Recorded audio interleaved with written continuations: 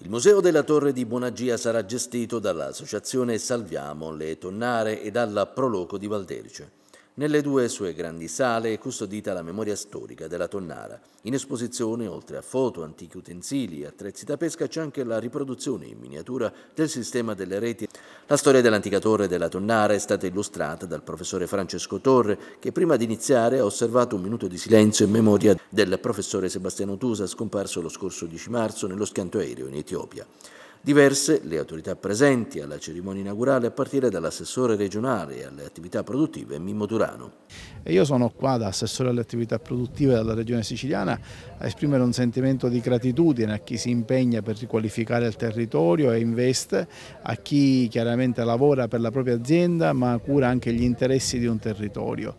Il borgo di Buonagia, il territorio dell'Agroricino, il comune di Valderice hanno delle potenzialità importanti su cui si dovrà provare a mettere a regime tutto. A Bonagia anche i sindaci dei comuni dell'Agro Ericino con in testa il primo cittadino di Valderice, Francesco Stabile, alla tonnara di Bonagia con tutti i suoi assessori.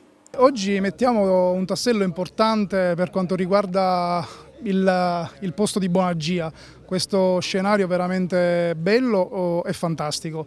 E ripartiamo con l'apertura del Museo della Tonnara di Bonagia. Ci tenevamo eh, che questo museo riaprisse e potesse essere dice, fruibile ai cittadini ma a, a quante più persone possibili eh, che vengano qui nel nostro territorio a Bonagia a, a vedere quelle che sono le nostre, le nostre, bellezze, vedere quella che è anche un po' la nostra storia e la nostra cultura perché il museo diciamo, della Mattanza rappresenta ecco, proprio questo, la nostra, la nostra storia, la storia di pescatori che eh, hanno veramente fatto dire, eh, la storia di questi, di questi, luoghi, di questi posti, quindi siamo veramente contenti di eh, tagliare il nastro e aprire eh, nuovamente questo, questo museo dopo tantissimi anni. L'impegno dell'associazione Salviamo le Tonnare, guidata da Nino Castiglione, sta dunque dando i suoi primi frutti con l'apertura del Museo della Torre di Bonagia. Un primo tassello nel progetto di recupero e valorizzazione del patrimonio culturale di Bonagia che punta anche alla ristrutturazione delle vecchie musciare della Tonnara, in condizioni di degrado e abbandono da anni. Tutto quello che stiamo realizzando lo stiamo facendo ovviamente grazie un po' ai contributi di tutti e la cosa bella è quello che eh, diciamo io non mi sto inventando nulla ma stiamo rimettendo a sistema quello che c'è sempre stato.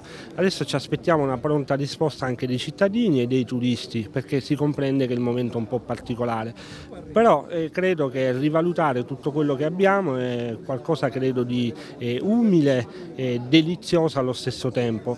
Oggi siamo qua per continuare con il famoso progetto che era eh, la messa eh, diciamo, a sistema di tutto un percorso museale. Quindi oggi cominciamo con la torre.